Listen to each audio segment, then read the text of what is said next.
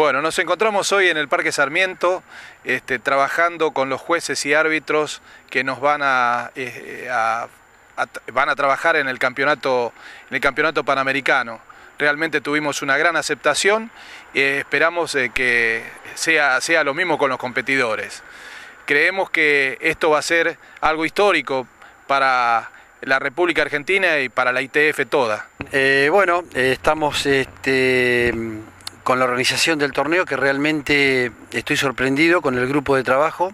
Yo vengo de organizar este, varios torneos internacionales, como la Copa del Mundo en el 2009 en Mar del Plata, el Campeonato Centro Sudamericano, y realmente eh, esto está superando todo lo que, por lo menos todo lo que me tocó vivir eh, todo lo que me tocó organizar. Realmente increíble el grupo de trabajo. Eh, el nivel del torneo yo creo que va a superar todas las expectativas eh, en la República Argentina. Esto va a dar mucho que hablar. Eh, se está preparando a los jueces de una manera increíble. Este, uno de los mejores estadios de América. Eh, bueno, realmente estoy pero muy, muy orgulloso y muy contento de, estar, de ser parte de este equipo. Hoy ya empezamos a palpitar el campeonato junto a todos los jueces con una convocatoria muy importante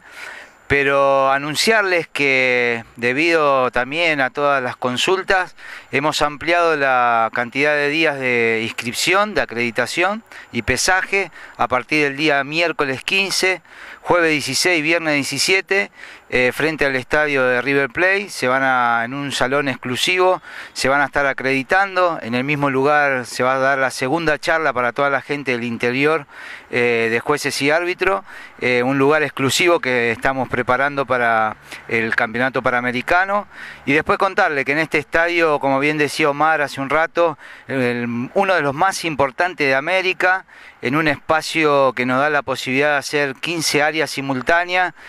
con televisión en donde los atletas en dos días van a disfrutar eh, más de 500, en realidad son 541 categorías, algo que en la historia del taekwondo creo en ningún país se pudo desarrollar. Nosotros estamos trabajando para lograr ese objetivo, que 541 categorías se lleven adelante. Tenemos un sistema especial de difusión, el sistema online, eh, acabamos de lanzar una aplicación para celular donde todos podrán seguir el campeonato, la llave del competidor, dónde están eh, los reglamentos, cómo llegar al estadio. Así que creemos que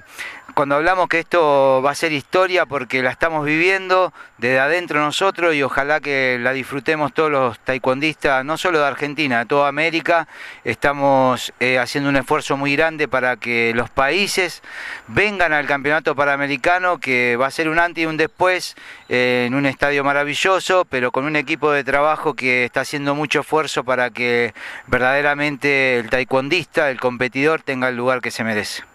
para seguir agregando algo más a lo que dijeron los maestros, eh, algo que nosotros junto con Marcelo hicimos en el Panamericano 2010 es una división, eh, no, no, la oficial de la, de la ITF, sino que hicimos 10 categorías y diferenciamos las edades de 18 a 30 años para los adultos. Creemos que eso es muy importante en cuanto al control y al, las lesiones porque uno lo hace más como un deporte de contacto, como si fuera el boxeo, cada 5 kilos, eh, hasta 30 años y después de ahí en más, eh, las divisiones de edades para los que se llaman seños o veteranos, que sería 30, 35 y así hasta más de 55 años. Cuando llegamos ahí a partir de los años es en tres categorías, tal vez si haya demanda de cantidad de gente podamos hacer una más, eh, liviano, mediano y pesados. Eh, por observación visual. También en cuanto a los chicos se dividió para, para hacer mucho más justo el torneo y que realmente todos tengan la posibilidad de,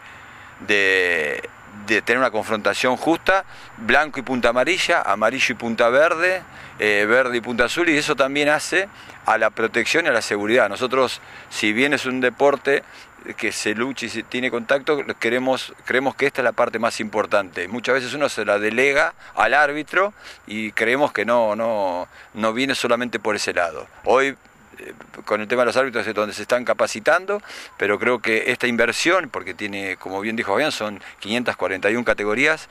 eh, tiene que ver mucho con el éxito eh, que tuvimos en el torneo en el 2010, que hubo 1.700 competidores, eh, porque creo que eso hace que la gente se anime, se siente protegida y mucha gente que se sentía en desigualdad de por tal vez competir con alguien que es campeón del mundo, de esta manera lo, siente que tiene posibilidades y que la organización está pensando en ellos. Bueno, sumándome a las palabras del maestro, también comentarles que estamos muy este, satisfechos y entusiasmados por la convocatoria que ha tenido el campeonato. Nos han confirmado delegaciones y equipos ya de Canadá, de Estados Unidos, de Jamaica y de todos los países de América del Sur.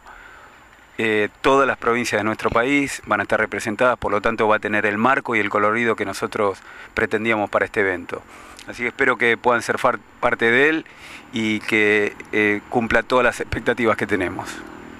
Una, cosa más, ya hoy a, poquitos días ya tenemos más de 600 personas anotadas,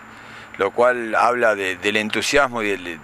de cómo está la gente, así que faltan eh, se van a cerrar la inscripción el día 10 y bueno, no queríamos dejar de agradecerle a ustedes que hacen siempre posible esto, eh, la difusión y todo, todo, eh, que se muestre todo este gran esfuerzo, que todo este gran equipo, acá hay mucha más gente trabajando, Gabriel Centenari, Damián Biacela, no me quiero olvidar de nadie, Horacio Fazán, Héctor Mengoni y Carlos Aprigliano, y mucha más gente apoyando anónimamente. Así que muchas gracias y y muchas gracias a ustedes por poder difundir esto.